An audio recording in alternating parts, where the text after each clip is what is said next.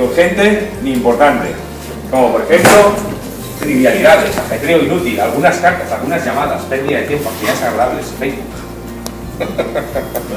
Según el Facebook como lo utilizamos, es una herramienta fantástica o es, una, o es un ladrón de tiempo. tenemos que tener, tenemos que tener cuidado.